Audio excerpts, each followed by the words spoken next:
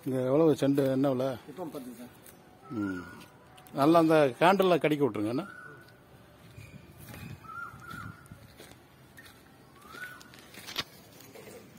இப்போ நம்ம உடம்ப ஸ்கேன் பண்ணுற மாதிரி பூமியை ஸ்கேன் பண்ணுறோம் ஆமாம்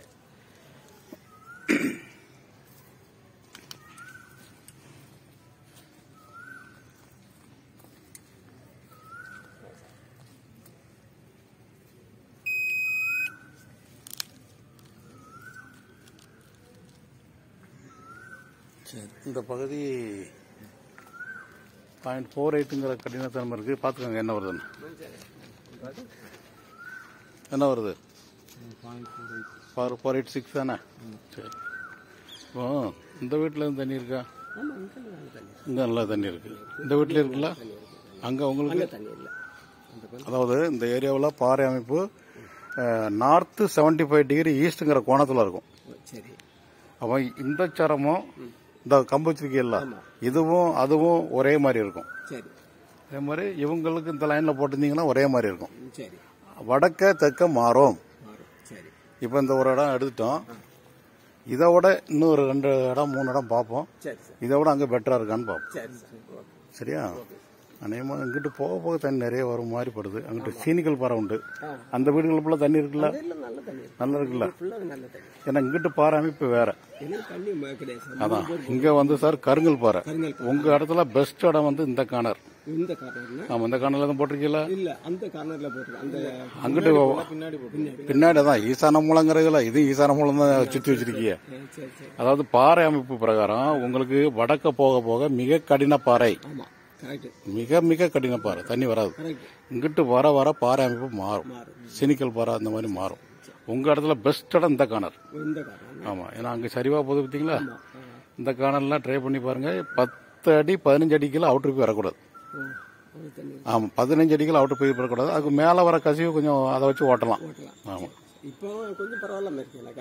அது மழை பெஞ்ச நல்லா மழை பெஞ்சதுனால கோடை காலத்துல அது ஃபுல்லா அந்த பின்னாடி ஃபுல்லா ட்ரை ஆயிரும். இவங்க யாரும் முன்னாடி போட்டிருந்தா ஓரளவுக்கு ஓடும். ஆமா இவங்களுக்கு கொஞ்சம் நல்லா ஓடுது ஆமா முன்பக்கம் போட்டிருந்தா ஓடும். சரி நம்ம இந்த பிளாட்ல எது பெஸ்ட்னு சரி இது பாயிண்ட் ஃபோர் எயிட் சிக்ஸ்னு வந்திருக்கு.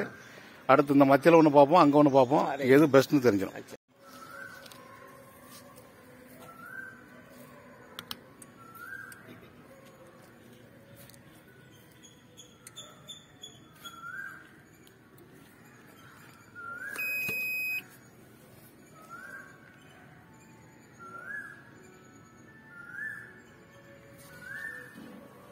அதோட கூட வருது. பாருங்க. என்ன அடி வருது? ஐம்பத்தி நாலு ஆயிட்டுல அது நாற்பத்தெட்டு இது ஐம்பத்தி நாலு அதோட கொஞ்சம் கடின பாறை. சரியா?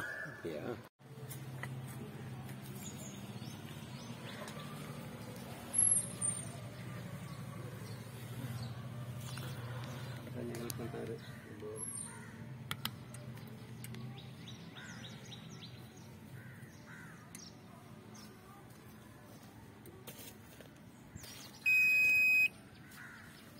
Four three one. இதான் பெஸ்ட் இடம் அதாவது அந்த வடகிழக்கு மூலையில் அடையாளம் வச்சிருக்கீங்கள அது பாயிண்ட் ஃபோர் எயிட் நடுமத்தில் கொஞ்சம் காட்ராக்கு வருது. பாயிண்ட் ஃபைவ் ஃபோர் ரொம்ப இருக்கல மோசம். இருக்கிற பெஸ்ட் இடம் இதான். நம்ம இடம் இதோட முடியுது அப்படி தானே அதனால இது சேஃப் இடம் இதுலயே போடலாம். பாயிண்ட் ஃபோர் த்ரீ லொகேஷன் இது இது இதே இது இடத்துல. பாயிண்ட் ஏன்னா இதுக்கு இங்கிட்டு பார்க்கலாம். இடம் இல்லையா நமக்கு? இல்ல இல்ல அதோட முடிஞ்சு அது இதோட முடியுது. அதனால இதான் சேஃபான இடம்.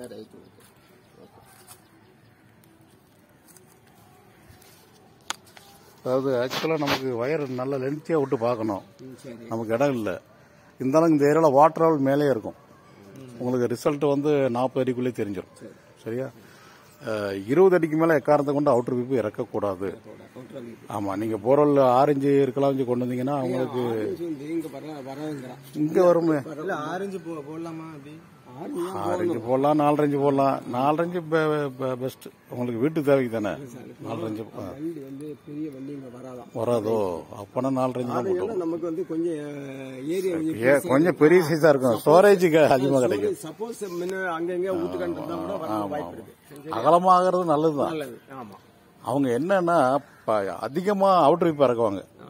அவங்களுக்கு அதுல கொஞ்சம் ஆதாயம் இருக்கு போல. எவ்வளவு இறக்கணும்? இருபதா? இருபது அடி போதும். அவுட்டர் பேப் நல்ல ஞாபகத்தில் வச்சுக்கோங்க இருபது அடிக்கு கீழே அவுட்டர் விப் இறக்கிட்டீங்கன்னா அந்த மேல் ஊத்து மட்டும் தான் இந்த ஏரியாவில் அடைச்சிருவாங்க. சரியா? இங்க தள்ளி போக போக ஆழமா தண்ணி வரும். நூத்தி இருபது அடி வரைக்கும் தண்ணி வரும்.